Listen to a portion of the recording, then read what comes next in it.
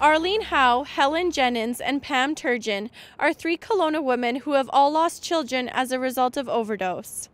They are hoping to bring change to the community through education and support. My son Stephen passed away January 31st, 2015, of a fentanyl related overdose. I lost my oldest son in uh, August of 2011. Ryan died of a prescription drug overdose following an accident.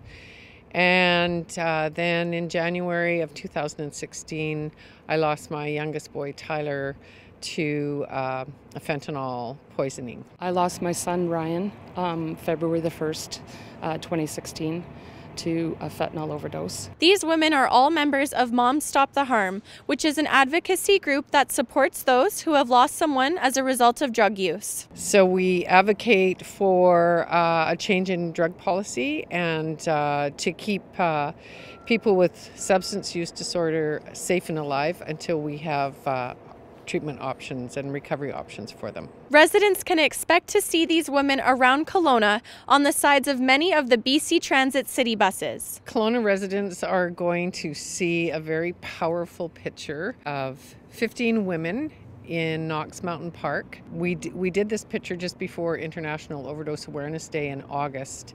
And um, the photo went viral. So after the picture went viral, we we thought we needed to do something even more for it.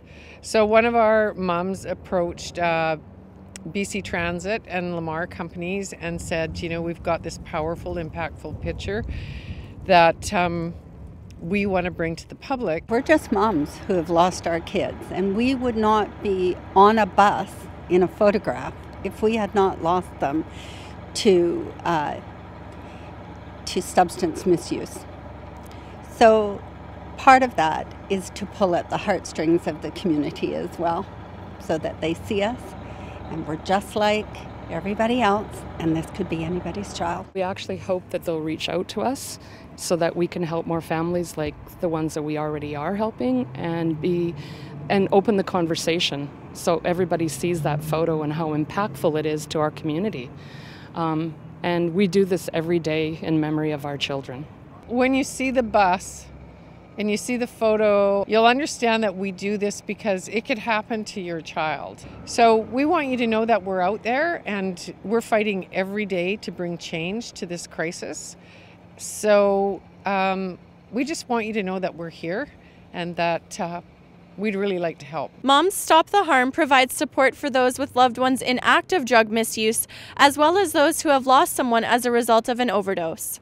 For more information, you can visit momstoptheharm.com. For Castanet News, I'm Miriam Halpenny in Kelowna.